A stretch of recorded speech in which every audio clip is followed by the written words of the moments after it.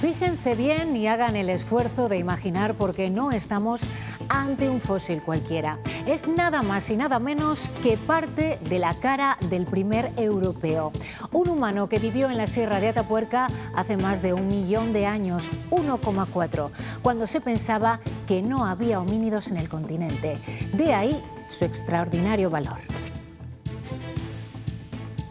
Este descubrimiento probablemente nos ayuda a conocer eh, la especie que socializó Europa.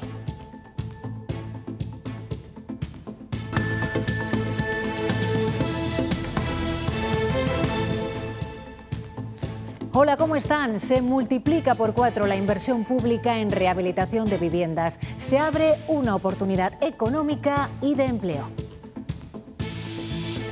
Las ayudas presentadas hoy ascienden a 37 millones y medio de euros y podrían alcanzar los 100 millones por los fondos europeos.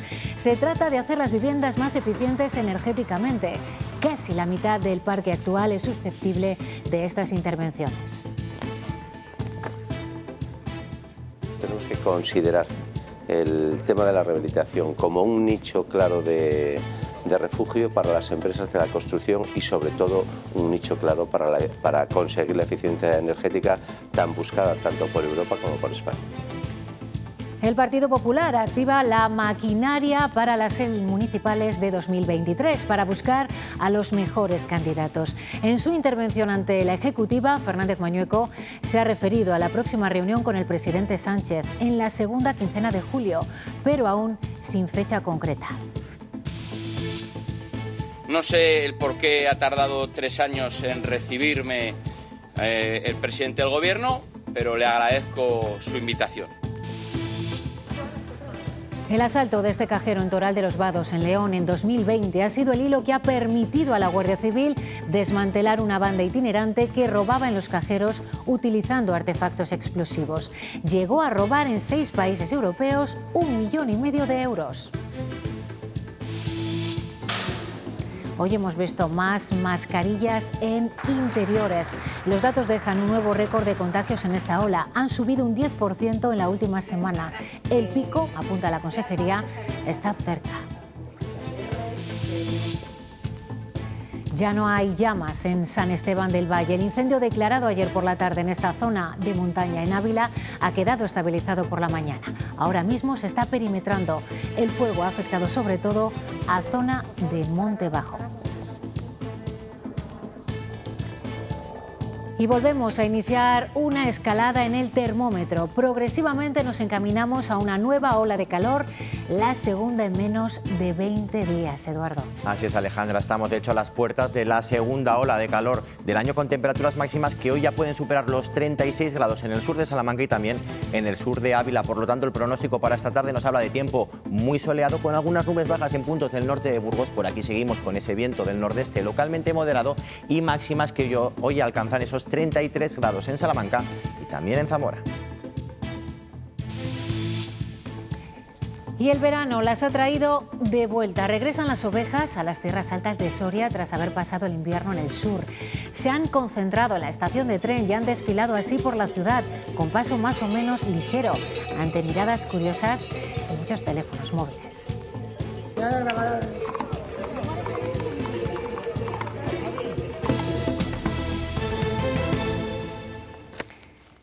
El yacimiento de Atapuerca vuelve a arrojar un hallazgo excepcional para el relato evolutivo del género humano. En la Sierra Burgalesa se ha encontrado la cara del homínido más antiguo de Europa. Noelia Ordóñez. Sí, un nuevo hallazgo que será trascendental y que va a obligar a reescribir el libro de la evolución humana. El fósil se trata de la cara parcial de un ser humano cuya antigüedad podría estar en torno a 1.400.000 años. Es el fósil más antiguo hallado en estos yacimientos de Atapuerca. Se trata de una de las primeras poblaciones que llegó a Europa. Podría estar relacionado con la mandíbula hallada en 2007. El fósil encontrado en la cima del elefante es el más antiguo de los yacimientos de Atapuerca. Su antigüedad podría estar en torno a 1.400.000 años. Este descubrimiento probablemente nos ayuda a conocer eh, la especie que socializó Europa. No los primeros que llegaron, probablemente, sino la especie, la especie que socializa la humanidad Nada es fruto de la casualidad, han dicho los codirectores de los yacimientos. Todo es fruto del saber. Y la cara parcial hallada en dos fragmentos pertenece a una de las primeras poblaciones que llegó a Europa. Primero parecía, se acercaba a un primate. Primero da ese miedo de decir, de verdad, hemos encontrado esto y posteriormente ya una vez limpio vimos claramente que estábamos delante de restos de un homínido. Y desde luego no es una cara típica de Homo erectus de Asia ni es una cara típica de Homo erectus de África o de Homo ergaster como lo llaman allí en, en África, ¿no? Eso es lo primero. Ahora, ¿qué es? Eh, eh, tendremos que esperar un año.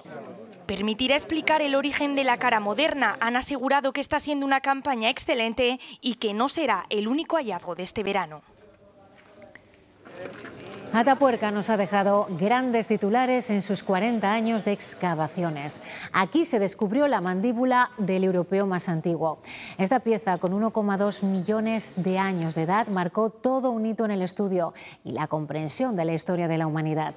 Pero también se han producido otros hallazgos importantes, como el cráneo de Miguelón, localizado en 1992, el más completo de su género a nivel mundial, o la pelvis humana, encontrada en 1992 1994, que permitió a la comunidad científica demostrar que nuestros antepasados tenían una corpulencia mayor que la del hombre actual.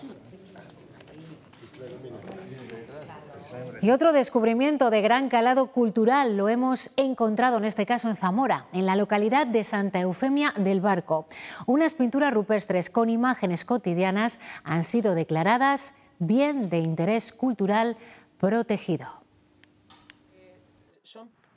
A simple vista no se ven, pero si miramos en profundidad, son pinturas rupestres pintadas hace 5.000 o 6.000 años. Podría ir desde un poquito antes de la edad del cobre hasta eh, finales de la edad del bronce o incluso principios de la edad del hierro. Podemos ver varias escenas como esta que tenemos aquí del ciervo y el ídolo, que lo que nos indican es una escena cinegética de lo que podría ser el entorno de hace 5.000 años. Han sido descubiertas al buscar información de una mina en la zona. Fue un hallazgo fortuito porque no esperábamos encontrarnos eh, todo este arte esquemático que hemos visto, pero la verdad es que eh, el grado de, de conservación excepcional de algunos de ellos pues nos, nos va a permitir estudiarlos en gran detalle. Y ahora, ya declaradas bien de interés cultural protegido, las labores se centran en buscar una mayor protección con documentación tridimensional. Tenemos un conjunto representativo tridimensional texturizado que permita visualizar todo el conjunto y sobre todo preservarlo para posibles daños que se puedan producir en el futuro, bien por, de forma natural a través de la, de la pérdida de coloración de los pigmentos que contienen o bien por eh, actos vandálicos que se puedan producir. Unas pinturas que darán mucha información de la zona y de la vida de las personas que hace 5.000 años vivían en esta comarca de Zamora.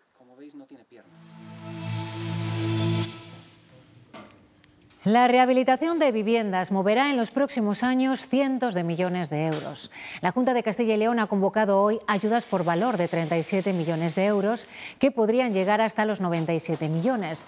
Son ayudas para la rehabilitación de edificios, pero también de eficiencia energética para las viviendas. Se puede solicitar desde hoy y hasta el 30 de junio del año que viene y son subvencionables obras que se hubieran iniciado desde febrero de 2020.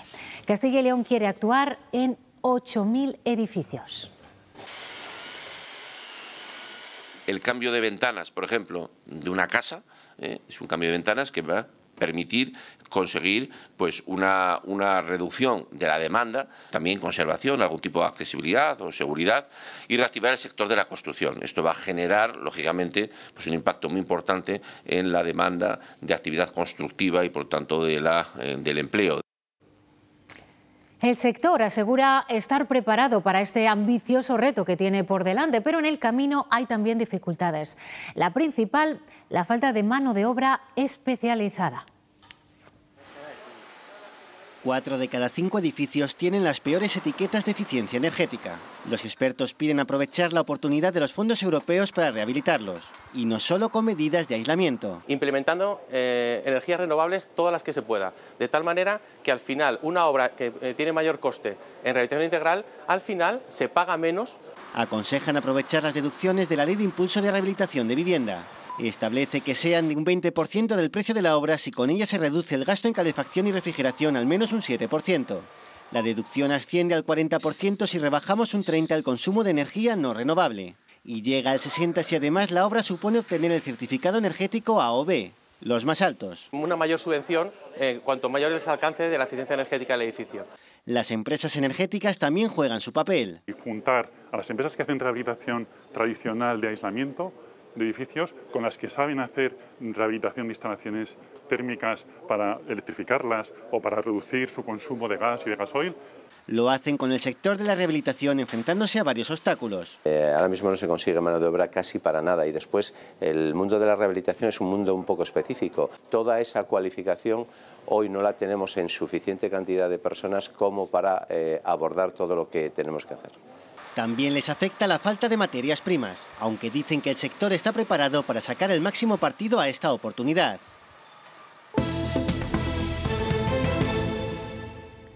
Resta menos de un año para la cita de las municipales y los partidos políticos se ponen ya en modo electoral. Hoy lo ha hecho el Partido Popular, que ha nombrado Ángel Ibáñez como coordinador de esa cita. Alfonso Fernández Mañueco les ha pedido a los suyos elegir a los mejores para volver a una mayoría rotunda. El PP de Castilla y León arranca la maquinaria para preparar las elecciones municipales. Tenemos que volver una vez más a la senda de la victoria rotunda en Castilla y León. El presidente del partido pide a los suyos pisar el acelerador, trabajar sin un minuto de descanso, les ha dicho para explicar lo que están haciendo y para encontrar a los mejores. Haciendo 2.248 candidaturas ganadoras no de amigos, sino ganadoras. A quienes se preguntan dónde está el PP, les ha respondido. Seguimos en nuestro sitio. Y nuestro sitio es el de la moderación, el de la centralidad. Asegura que el nuevo proyecto del PP ilusiona y que no hay otra alternativa. Somos los únicos que podemos derrotar a las urnas a un partido sanchista, a un partido socialista que no se reconoce a sí mismo. Mañueco se ha referido también a su próxima reunión con Sánchez.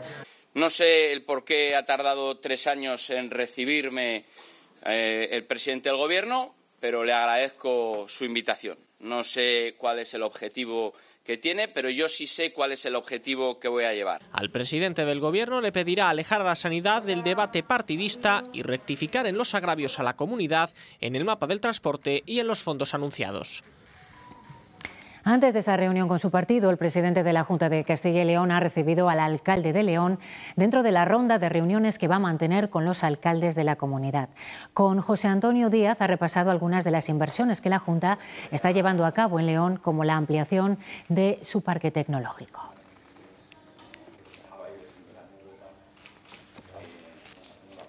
Récord de contagios en esta nueva ola de coronavirus. En la última semana se han rozado los 11.000 positivos. Supone un 115 más que la semana anterior cuando se alcanzaron los 8.600.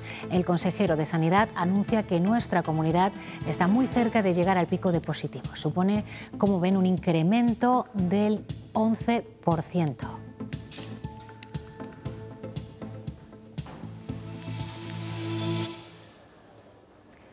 Es la zona que ayer ardió en San Esteban del Valle, en Ávila. Ya no hay llama. Se ha logrado estabilizar el incendio. Se mantiene en nivel 1.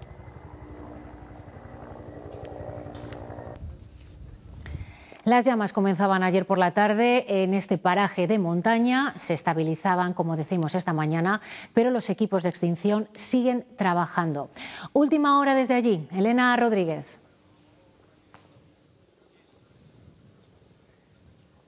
Así, en torno a las 10 de la mañana se daba por estabilizado que no controlado. Y es que la zona sigue muy caliente, lo que está complicando las labores de perimetración, pero se estima que no son más de 200 las hectáreas quemadas. A primera hora de esta jornada se incorporaban de nuevo los medios aéreos. Están actuando un total de cinco, pero hay que sumar el helicóptero hotel de coordinación. Lo que están haciendo es refrescar los puntos más calientes para evitar nuevos conatos, sobre todo en la cara oeste, que es donde se ha vivido la peor parte. La investigación está abierta, pero todavía es pronto para esclarecer cuáles son las causas que han originado este incendio, aunque no se descarta que haya sido un rayo como consecuencia de una tormenta seca. Esperan darlo por controlado pronto, aunque todo va a depender de la evolución del viento y la bajada de las temperaturas.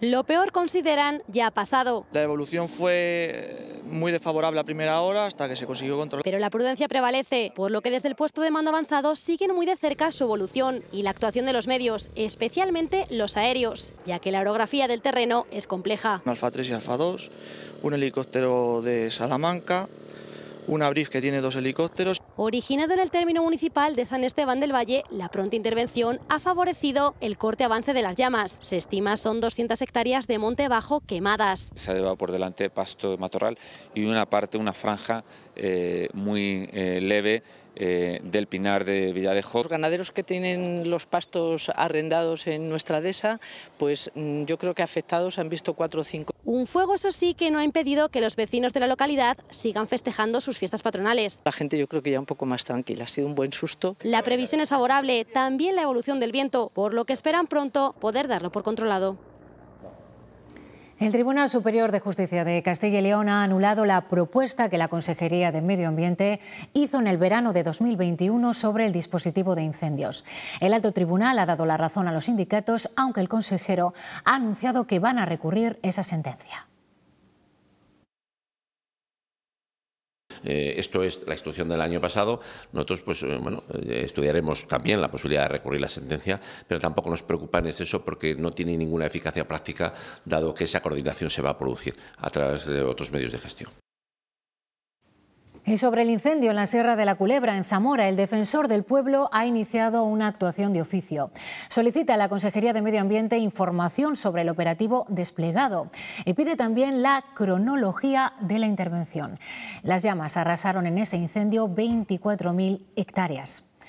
Hoy el Partido Socialista se ha reunido con UCCL Piden ayudas directas para los afectados por ese fuego, que las medidas que se adopten sean de forma planificada y consensuada y que la retirada de los que se esperan sean 50.000 camiones de madera quemada repercuta económicamente en la zona. Claro, el que no esté arruinado en el momento de la Junta lo cierto es Y entre las voces que piden la dimisión del consejero de Medio Ambiente por ese incendio está la del PSOE, pero en sus filas hay un socialista que disiente.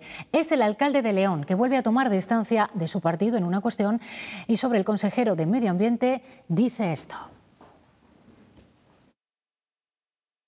Estamos hablando que es un tema de, partido, como ha dicho, del Grupo Socialista aquí en las Cortes de Castilla y León y por lo tanto no tengo nada que decir. Yo me ciño al trabajo que desarrollo con el consejero, que es un trabajo, como digo, muy cercano, muy próximo, de excelente colaboración.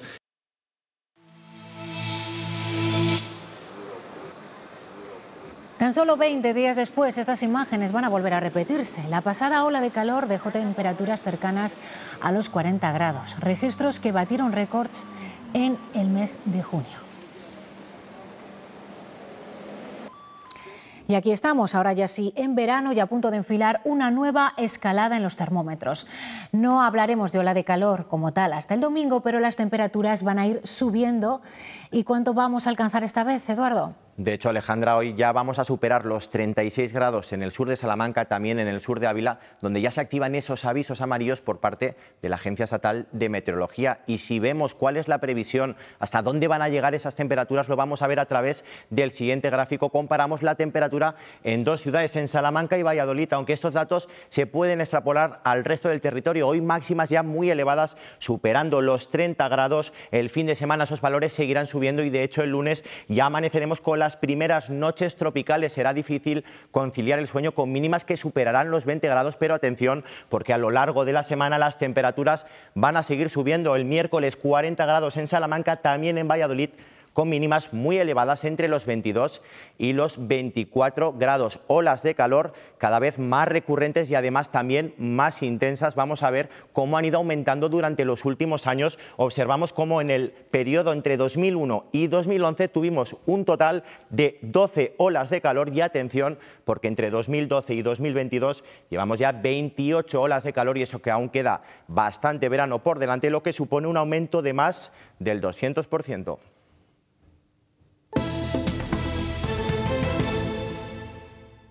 Yo estaba en Burgos en un curso y, y, recuerdo que toda la ciudad salió a la calle, a la Plaza Mayor y se hizo un silencio. Una angustia tremenda, o sea, era una angustia mmm, brutal. Una impotencia y una injusticia total. Me, me suena de haberlo dado en, para estudiármelo para el EBAU y tal, pero no me acuerdo.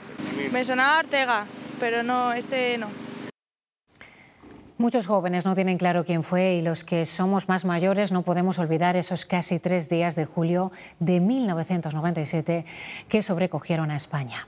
El domingo se cumplen 25 años del secuestro a manos de ETA del concejal del Partido Popular de Hermoa, Miguel Ángel Blanco, asesinado por los terroristas el 13 de julio de 1997. La localidad guipuzcoana de Hermoa prepara el homenaje de pasado mañana mientras la Audiencia Nacional ha citado como imputados a tres exjefes de ETA por su responsabilidad en este crimen.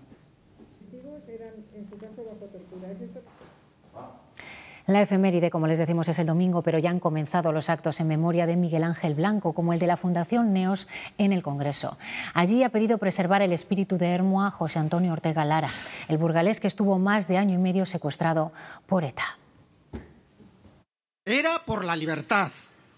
No lo olvidemos. No olvidemos a Miguel Ángel Blanco ni, ni a las 853 víctimas de ETA. España, España y el espíritu de Hermoa, aunque hoy sufren y padecen atrocidades y agresiones permanentes, sobrevivirán.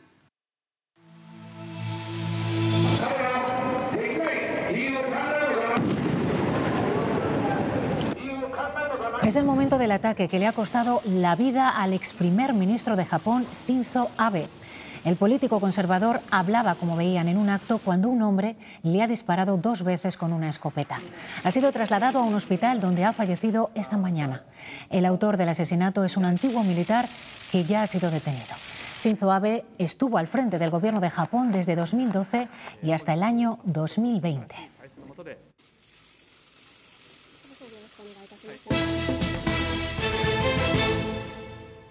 CAE, la banda organizada más activa en Europa en el robo de cajeros. Utilizaban lo que en la jerga policial se conoce como el método de la paleta del pizzero para introducir en las ranuras artefactos explosivos. Fue precisamente el asalto a un cajero de Toral de los Vados en León el que puso sobre la pista a la Guardia Civil. Explotaban cajeros automáticos con el método de la pala de pizzero. Causaban grandes daños y estructuras en edificios. Los siete detenidos en España, Rumanía y Bélgica incluyen al líder de la banda. Se les atribuyen hasta un total de 22 ataques en varios países europeos desde 2019. El que están viendo en la imagen fue en Castilla y León, en la localidad de Toral de los Vados, en la comarca del Bierzo. Un 14 de diciembre amanecía con el cajero de una entidad financiera reventado. Aquel día de 2020 se iniciaron las investigaciones que ahora han dado con sus autores. Investigaciones en las que han participado agentes de la UCO y de la Policía Judicial en la Comandancia de León una banda criminal que tenía su base de operaciones en Lugo y a la que se responsabiliza de siete asaltos a entidades bancarias en España, junto a otras 15 en otros países, por un importe de 1,5 millones de euros. La investigación en nuestro país ha sido dirigida por el juzgado número uno de primera instancia e instrucción de Ponferrada. Hoy el municipio burgalés de Valle de Mena es el epicentro de la seguridad en el mundo rural a través de la celebración de unas jornadas sobre esta materia en las que participan el presidente del Senado, representantes nacionales y regionales de la Federación de Municipios y Provincias y la directora general de la Guardia Civil. En este marco se ha presentado el Plan de Seguridad Rural de la Guardia Civil que planea diversas inversiones en la mejora de los cuarteles, el incremento de la oferta pública de empleo para un entorno que presenta singularidades en cuanto a la seguridad. El problema mm, fundamental de los entornos rurales es la, sensación subjetiva de seguridad.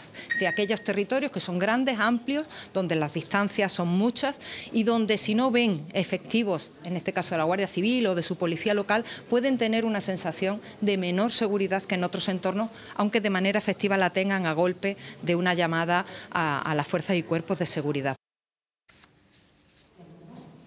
62 empresas de la comunidad, 17 de ellas ubicadas en el mundo rural, han recibido hoy en León el distintivo Óptima Castilla y León que concede la Consejería de Familia por implementar voluntariamente, más allá de lo que marca la ley, medidas y procesos que fomentan la igualdad en el seno de su organización.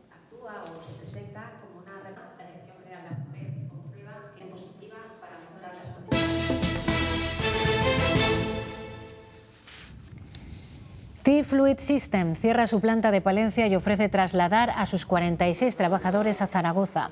Un golpe para la plantilla de esta auxiliar de Renault que fabrica tubos de freno para los modelos que se producen en las plantas que Renault tiene en Villamuriel de Cerrato, en Palencia y en Valladolid. Los trabajadores no esperaban este movimiento, mucho menos teniendo en cuenta que empiezan ya a producirse los nuevos modelos de Renault en la comunidad. El nuevo proyecto de Renault y, la posible, el posible aumento de los turnos en Renault a partir de septiembre nos daban la esperanza de que, de que esto volviera a subir para arriba.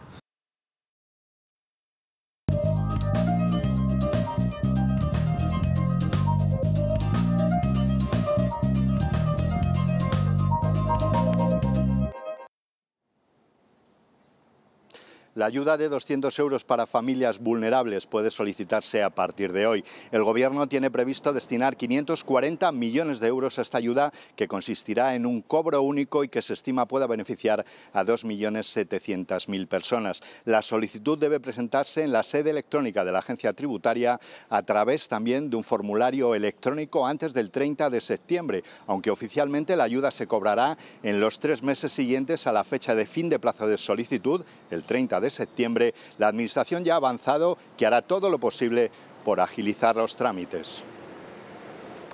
Uno de los últimos rebaños trashumantes que quedan en España pertenece a la provincia de Soria. Tras pasar el invierno en el sur de la península, hoy ha atravesado las calles de la ciudad en su camino de vuelta a la comarca de Tierras Altas. Hoy en Soria se ha vivido una jornada muy especial para la mancomunidad de Tierras Altas. Han podido ver de nuevo a un rebaño trashumante pasando por las calles de la ciudad.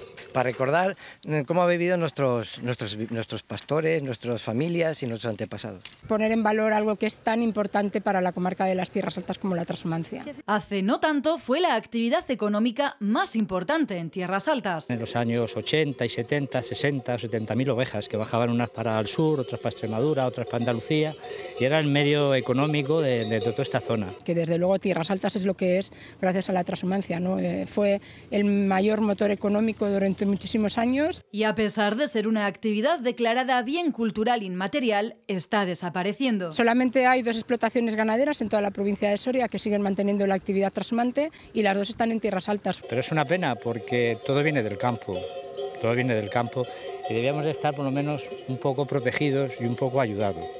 Durante dos días, el rebaño recorrerá la Cañada Real Soriana Occidental hacia Tierras Altas y el domingo las actividades continúan para divulgar el sector de la transhumancia y acercarlo al turismo de la forma más auténtica posible. Dicen que el agua es necesaria para sobrevivir, pero eso es quedarse corto, porque somos muy de salpicar, de tirarnos en bomba y muy de bebernos esta botella que está muy llena de vida, de muchas vidas. El agua no nos hace falta solo para sobrevivir, nos hace falta para vivir muy fuerte. Bezoya, agua de mineralización muy débil, agua para vivir muy fuerte trabajan con precisión sobre una imponente obra de finales del siglo XIX, un proceso que se prolongará durante los próximos 12 meses. Hay pinzamientos, hay abombamientos de la tela, pérdidas de color que ahora mismo estamos sentándolas. El cuadro Los Comuneros de Castilla de Joan Planella y Rodríguez lleva empapelado y enrollado desde los años 80 en el Museo del Prado. Ahora se acomete su restauración para lucir en las paredes del Parlamento Autonómico. Hemos empezado por la zona central, ¿vale? para poder sacar las deformaciones y asegurarnos que todo está correcto del centro hacia los extremos. Sus grandes dimensiones dificultan el trabajo. Las restauradoras deben desplazarse por encima del propio cuadro, lo que no causa daños, y así aplicar varias técnicas. La cola, que nos ayuda a readherir la película pictórica, el empapelado, que nos ayuda a poder planchar y a la vez tensar el lienzo y eliminar las deformaciones. Después se tapa y se aplica peso. Finalizado este proceso, se trabajará por el reverso del cuadro. Vamos a tener que volver a enrollar el cuadro para desenrollarlo y esta vez con la cara de la tela hacia arriba. Se limpiará la tela, se repararán daños y reforzarán costuras. Para que desempapelemos falta terminar este proceso de eliminación de deformaciones y sentada la película pictórica y la limpieza del reverso. Yo calculo que a lo mejor en dos meses estaríamos desempapelando. Finalmente se actuará sobre la pintura y se reconstruirán las zonas perdidas, un proceso largo pero que espera tener su recompensa con el cuadro terminado dentro de un año.